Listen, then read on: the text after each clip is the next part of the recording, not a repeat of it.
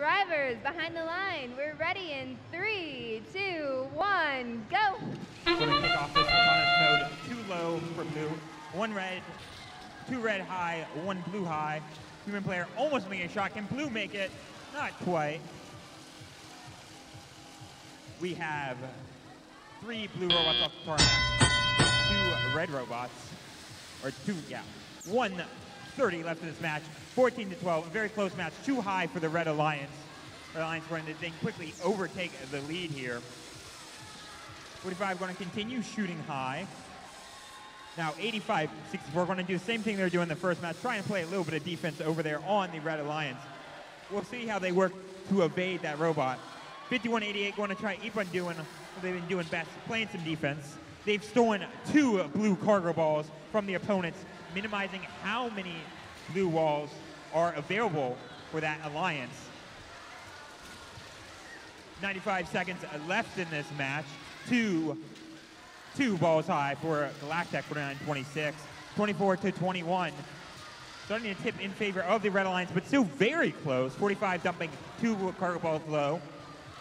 Thunderbots looking to score a cargo ball.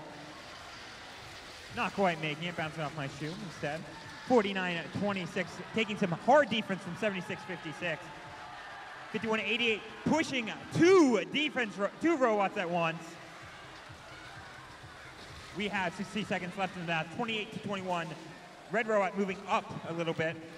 We have a couple of pieces coming out of Galactech right now. We'll see if that affects their performance in any way.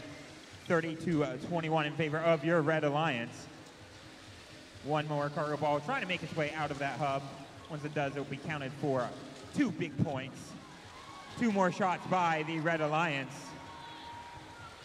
85-64 was playing defense, but now hard countered by 51 what we call a T-bone here. T-bone completely legal as long as they're not held against a physical object. 22 seconds left in this match. Robots looking to climb. 51-88 wanted to be the first up for the Red Alliance. 45 choosing just keep on dumping cargo balls low for now. Thunderbots are up here to the medium rung. That will be worth six points at the end of the match if they can maintain that. 51-88 going to stay on that medium rung. Galactech going up as well. Three seconds left. They are up in the air.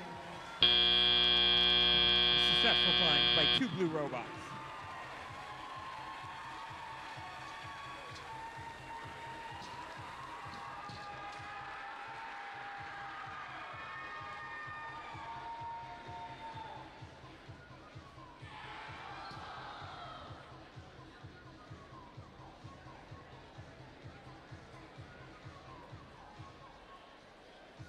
Red Alliance looking to win this to move on. Blue Alliance looking to, to stay alive. Our scores are final. They are the winners. The Red Alliance! Red Alliance winning 54 to 35.